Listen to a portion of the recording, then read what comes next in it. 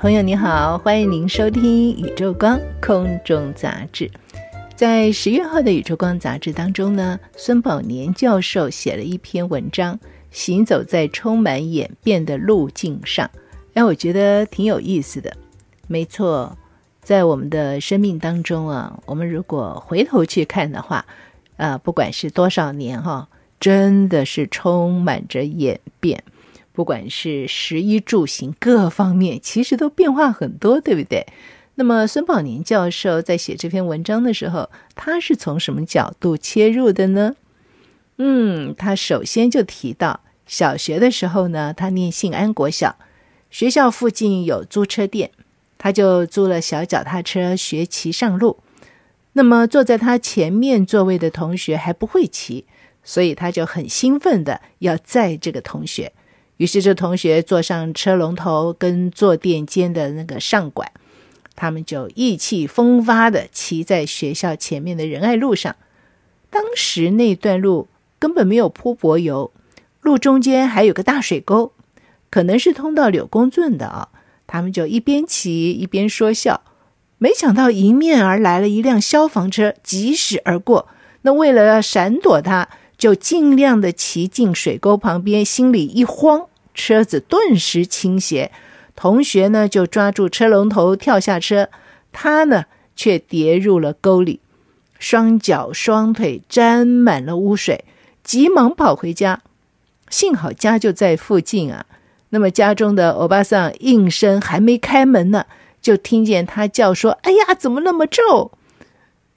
因为他不知道作者是带着全马路满满的家庭废水回来的。而这呢，就成了他一生当中非常难忘的一次行车意外事件。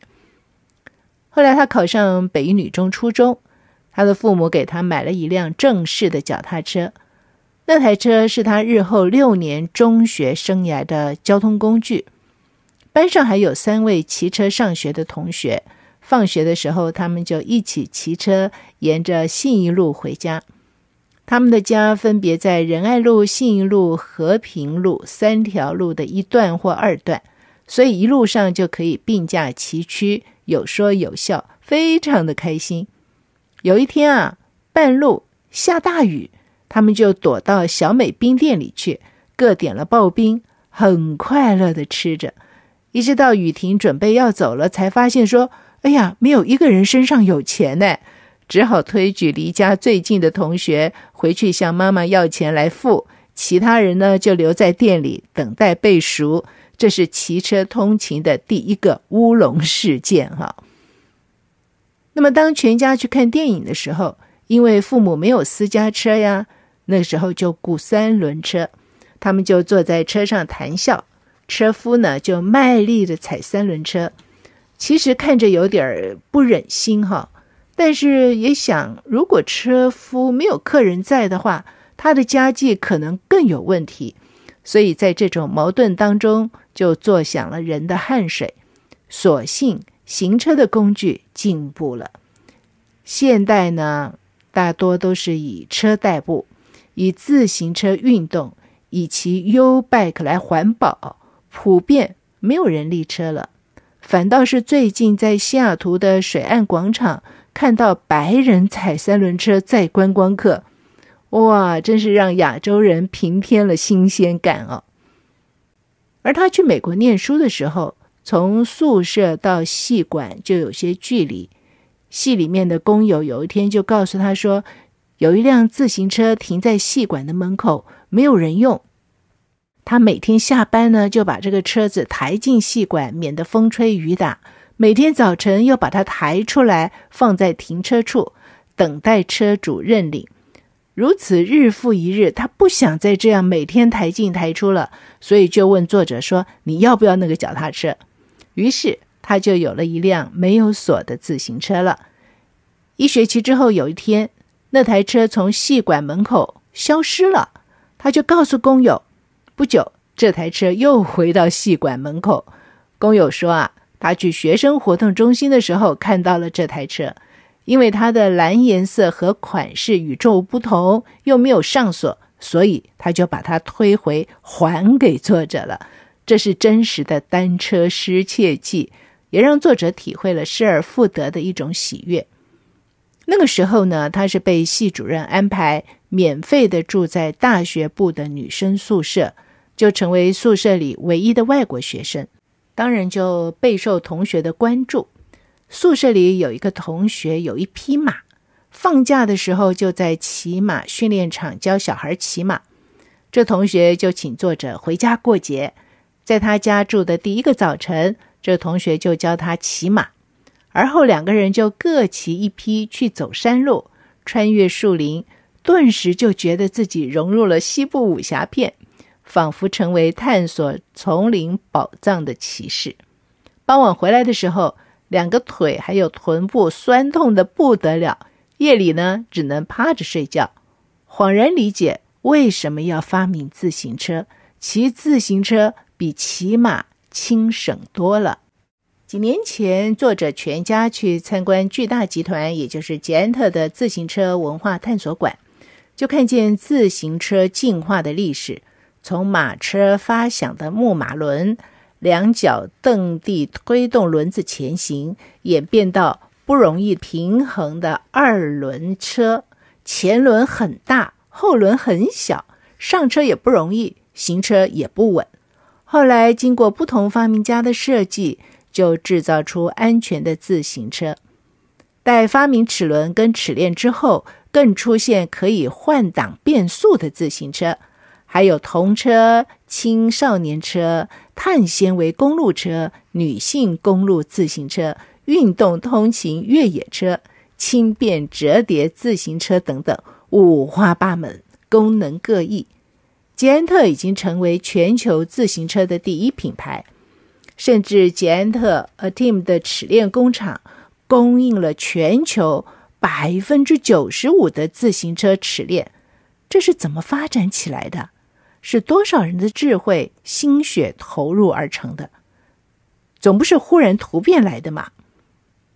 而作者他们一家也拥有四台这个品牌的折叠自行车，多年前就随身带到加拿大温哥华。当他们骑在史坦利公园的水边，不时就有行人及自行车骑士用好奇的眼光看他们的小自行车。途中呢，有骑士向他们招手，叫他们过去水边。看见离岸不远的地方有只水獭，就卧在水中的岩石上，嘴巴里含着一条活跳跳的鲑鱼，好像在向路人炫耀它的营养大餐。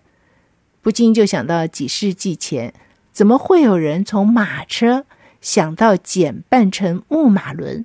又经由欧洲多国的工程师把脚踏车陆续变成多样化的自行车，更远渡重洋，载着车和骑士到世界各地浏览赏景或越野竞赛。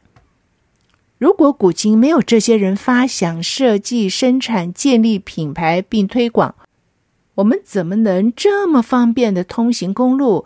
怎么会远走异乡观看世界水岸的奇景呢？所以作者就讲了：世界这么大，飞禽走兽这么多，物种多达八百七十万种，分散在海陆空、高山低谷。沙漠、湿地等等截然不同的地域，千万年来，他们怎么保有以不变应万变的坚持，或者濒临灭绝呢？为什么独有人类可以延续至今？为了省腿力，寻马代劳，进而发展出自行车，演变出各种材质、功能的设计，更策略性的推展到各国，甚至发明汽车、飞机。还有无人驾驶的汽车、飞机可以快速移动，这种的创造力从何而来呢？难道是自然发生的吗？还是创造天地的神把他的灵赋予人，使人成为有灵性、有创造力的物种呢？是哦，真的，你怎么看呢？不只是自行车吧？我们真的是可以看到很多事物的转变，人怎么可以做出这些东西来啊？这么的厉害，不知道用了多少人的脑力。因此，可能就有人觉得说：“哼，就是人定胜天。但是，真的是人定胜天吗？这些的脑力，这种的创造力，它最原始是从何而来呢？圣经上说啊，人呢是照着神的样式被造出来的。那神有很多很多的特质啊，其中有一项，神是创造的神，对不对？所以人是照着神的形象创造，当然人本来就是有创造力，这个创造力是由神而来的。我们可以看人世之间很多很多的事物，它的发明，人真是有了不起的创造力。不过要感谢的是，创造的主。赋予了人这些创造力，你赞成吗？除了这篇文章之外呢，这期宇宙光也有另外一篇文章，我也乐于和大家分享。这是在陈德全的故事屋这个专栏里的。陈德全在每个月的杂志当中都会说一个故事，他的故事取材甚广，而且几乎每个故事都发人深省，所以也是我个人非常喜欢的一个专栏。在这一期的杂志里面，他写的一篇文章是给静悄悄失踪的人哦，什么人静悄悄失踪了呢？他提到的是同学会，诶，又怎么说呢？嗯，故事的主角呢是 Susie，他打开电脑一看，哇，大学毕业三十五周年纪念，同学会发邀请函，请大家为回娘家周末。预留时间。此外呢，校友会也希望大家能够上网更新个人的近况。苏西看了通知，立刻把电脑就关了。他没有心情更新，因为最近生命当中唯一的里程碑就是一块墓碑。亲人过世带来的悲伤，跟死亡本身是一样的常见。可是失去亲人的人。往往会因为失去亲人，所以就会觉得非常孤独。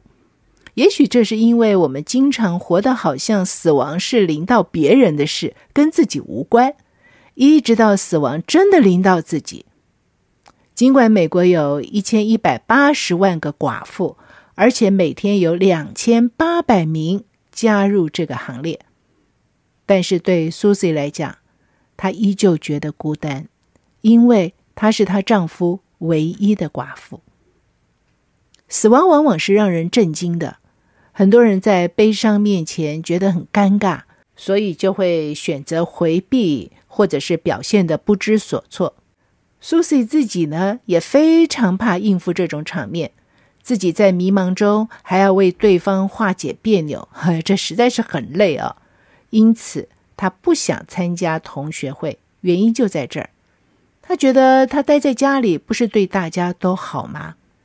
可是三十五周年毕竟是个大日子啊，所以他想不如退一步，在网站上面略略有个交代，让同学们在电脑或手机荧幕前面先有个缓冲，又可以避开亲自到场要承担失落的重担，每个人都要问他，要对每个人解释。想到这儿呢，他就勉为其难。挤出了一段短短的文字，上传到网站。他说：“三十五年前，我单身，没有孩子，职业道路模糊。最近，我的丈夫 Steve 去世了，三个成年孩子也开始了他们独立的生活。我自己的职业道路再度变得模糊，像回到二十二岁那时一样，只是没有当年那股令人兴奋。”准备冒险的冲劲。这段文字上传之后，他踌躇了大半天，还是没有办法决定要不要报名参加同学会。丈夫去世，给她留下一个很深很深的洞。说实在的，这并不是一种孤单，而是一种自己的思想在脑子里回响的孤独。也许老同学的陪伴会消除让她厌烦的耳鸣。于是呢，他最后决定战战兢兢的报名，买了机票，决定参加。他还做了一件很特别的事，就是他主动的联系校友会，解释回娘家给悲伤的人带来的一种困境，所以呢，他就提议举办一场活动，为伤心的人提供一个安全的空间，让他们找到彼此。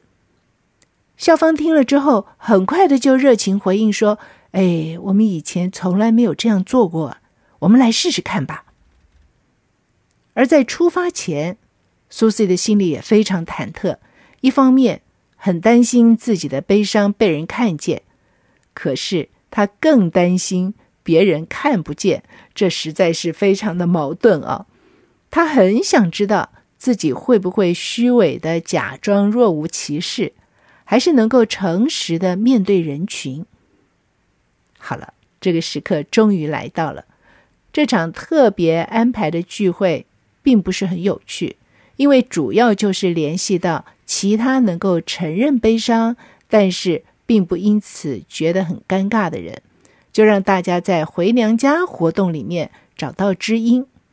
当天来了三十多位同学，其中有的人是丧偶，也有丧子。当然也有丧父母和丧友的人，还有一个呢是痛失毛小孩的主人。在聚会里面呢，苏西也告诉那些面对伤痛的人而不知所措的朋友，跟他们说不要让别扭成为自己支持伤心朋友的阻碍。其实悲伤者会很高兴见到他们，回避悲伤的朋友只会增加他们的失落跟孤单。当然，见面的时候可能会觉得尴尬，不知道说什么，甚至可能说错话。譬如说，我知道失去亲人的感受，或者说，哎，节哀顺变，因为死者已经去了更美好的地方之类的话。这种话可能并不是很恰当，但是即便有这种风险，也不用怕把痛楚点明出来，因为唯有这样，悲伤者才能有机会决定。是不是要谈论这件事？别人可以跟着他们的指引，不必勉强。此外呢，分享有关死者的回忆也会带来安慰，因为许多失去亲人的人不仅是失去亲人，而且周遭的人表现的好像死者从来没有存在过，这个会让悲伤的人更难过。互动的时候，当然也许会流泪。那就意味着已经投入悲伤的人的新现实里，那不是一件坏事啊。而随着相聚的时光一分一秒的过去，苏西就发现说：“哎，老同学真正关心的其实是见到他，就是这么简单直接。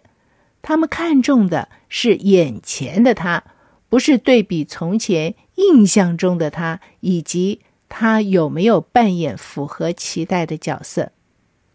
他也突然体会到一个很明显的事实，就是毕业三十五年，其实每个人都改变很多。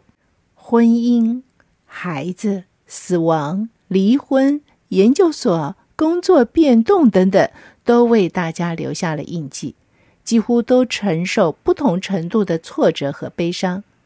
彼此能够在一起叙旧固然是很快乐，但是能够承受彼此的伤痛，心照不宣，也是一种祝福。所以作者就讲：你是不是也想逃避同学会、老同事叙旧，或者是亲友聚会呢？巴不得静悄悄的就不见了踪影呢？可是其实你害怕面对的，往往跟别人实际的反应不一样。只是没有人告诉你，有可能是你自己吓自己。至于你想避开的事情，并不是别人的焦点，大家关心的是你，能够看到你、倾听你就满足了。这篇文章是不是非常实际呀？是，每个人走出了校门，可能到了一个年岁之后，可能毕业二十年、三十年、四十年、五十年等等，都是要重聚哦。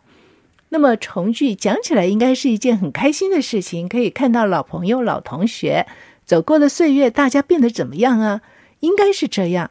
可是往往因为每个人在生活当中的遭遇不一样，就很像苏斯一样，他碰到了丧偶，他就会觉得不想去跟同学见面，因为会觉得那个见面当中会有些的尴尬。不知道怎么样说，啊，或者说很多人问，然后自己也会承受心理上很大的压力，所以就不想参加。可是当他突破了这种心理的障碍，甚至向校方提出了正面具体的建议之后，去参加了，他才发现，哦，原本的顾忌其实不是事实。而且我很喜欢他中间的一句话哦，他说。能够彼此在一起叙旧固然快乐，但是能够承受彼此的伤痛，心照不宣也是祝福。很多人都是用老同学的这种聚会作为题材，哈，可能写小说呀，甚至拍电影啊，哈，会觉得说人本性上爱比较，因此这样的聚会往往就会引发出很多基于比较所带出的故事。但是也不要忘记啊。人其实，在本性上面真的是有爱的，所以呢，在这种聚会当中，很可能我们以为大家都会去比较表面上的一切，或者以为大家都会用一种另样的眼光去看待我所遭遇的一切等等的时候，事实上未必。因为可能这种的聚会，大家所在意的还是此时此刻你是什么样的一个人，大家的那种的焦点只会放在你是什么样子的这件事情上面。而且，毕竟是老同学，当能够遇到有共同经历的人，能够在彼此的诉说分享当中，彼此都能够带给彼此慰藉的时候。那时候，心中的那种妥帖、被安慰啊啊、被体恤的感觉，就非常非常的棒了。当然，有些人不愿意参加这样的聚会，还有别的一些想法。但是，陈德全在这个故事当中所说出来的这一点，毕竟是诸多想法当中的一种，提醒了我们：如果我们自己也是因为。生命里面遭遇到某些的事情，所以我们有所顾忌，怕别人过分的关心，其实也怕别人不关心，怕别人不知道怎么样用什么言辞对待我们，因此我们心里有些忐忑，我们干脆就不参加的话，或许这篇文章可以给你一个不一样的视野。放心，勇敢的去参加吧。希望这两篇文章你都喜欢，我们下回见喽。Thank you.